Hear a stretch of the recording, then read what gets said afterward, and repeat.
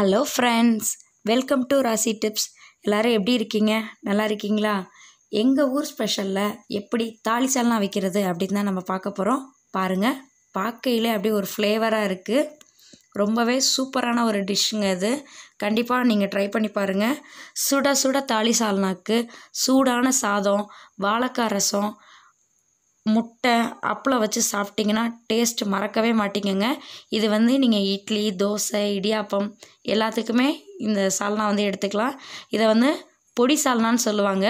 இது வந்து நம்ம வந்து பொடி போட்டு பொடி போட்டு தான் இந்த சால்னா வந்து ரெடி பண்ண போகிறோம் நம்ம என்னென்ன பொடி வச்சு எப்படி நம்ம இந்த சால்னா ரெடி பண்ணுறது அப்படின்னு தான் நம்ம பார்க்க போகிறோம் வாங்க வீடியோக்குள்ளே போகலாம் ஃபஸ்ட்டு ஒரு ஸ்பூன் அளவுக்கு வெந்தயம். அதை வறுத்துட்டு எடுத்து வச்சுக்கோங்க.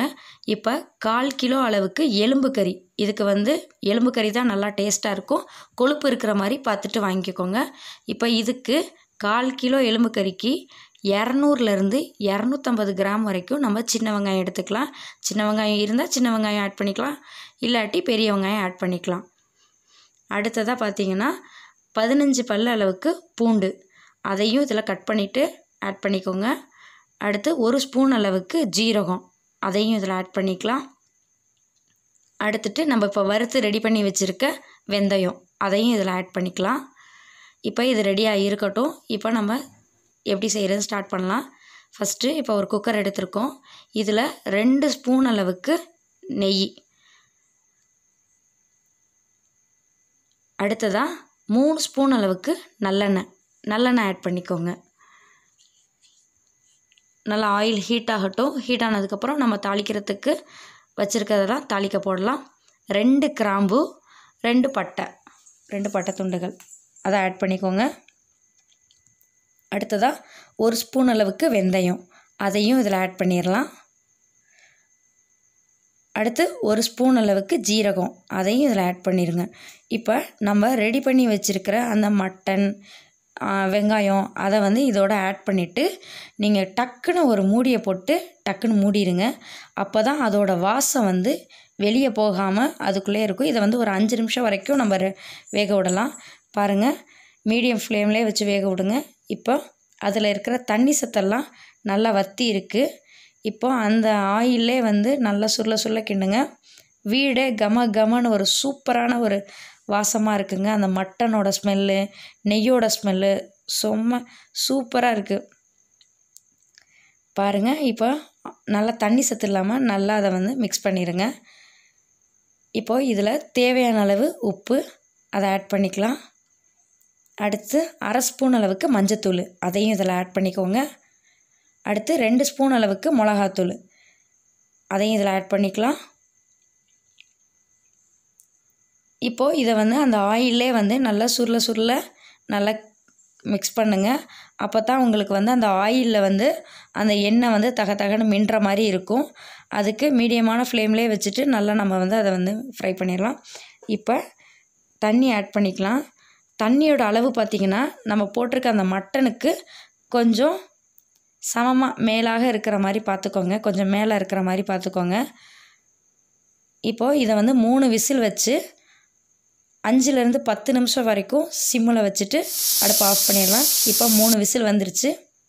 இப்போ அதுக்கடையில் நம்ம ஒரு மசாலா ரெடி பண்ணிடலாம். புழுங்கரிசி தான் நம்ம வந்து ஆஃப் டம்ளர் அளவுக்கு புழுங்கரிசி பொரியரிசியாக வறுத்துக்கோங்க. அடுத்து அரை ஸ்பூன் அளவுக்கு மிளகு அதையும் வறுத்துட்டு எடுத்துக்கலாம். இப்போது இப்போ அரை அரை டம்ளர் அளவுக்கு புழுங்கரிசி அதை ஆட் பண்ணிக்கோங்க. மிளகு வந்து அரை ஸ்பூன் ரொம்ப போட்டுறாதீங்க காட்டமாயிரும். ஆஃப் ஸ்பூன் போதும். இப்போ இதை பொடி பண்ணி வச்சுக்கலாம். இப்போ திறந்து ஓப்பன் பண்ணி பார்க்கலாம். பாருங்கள் நல்ல கலர்ஃபுல்லான மட்டன் குழம்பு ரெடியாகி வந்திருக்கு. இப்போ இதில் நம்ம சேர்க்க போகிற பவுடர்லாம் என்னென்னு பார்க்கலாம். இப்போ ஒரு பவுல் எடுத்துக்கோங்க. அதில் ரெண்டு ஸ்பூன் அளவுக்கு அரிசி மாவு. அடுத்து இப்போ நம்ம வந்து பொரியரிசி மாவும் மிளகு மாவும் ரெடி பண்ணி வச்சுருக்கோம். அதை வந்து நாலு ஸ்பூன் அளவுக்கு அதில் ஆட் பண்ணிக்கலாம். இப்போ இதை வந்து கொஞ்சமாக தண்ணி ஊற்றி ஃபஸ்ட்டு கரைச்சிக்கோங்க. த கட்டி இல்லாமல் கரைச்சிட்டு அதுக்கப்புறம் கொஞ்சம் நம்ம தேவையான அளவு தண்ணி ஆட் பண்ணிக்கலாம். பாருங்கள் இப்போ கட்டி இல்லாமல் கரைச்சி வச்சுருக்கோம். இப்போ குழம்பு வந்து கொதிச்சிட்ருக்கு. இதில் வந்து நம்ம அந்த கட்டி கட்டி இல்லாமல் இருக்கிற அந்த மாவு தண்ணியை இதில் வந்து ஆட் பண்ணிடலாம்.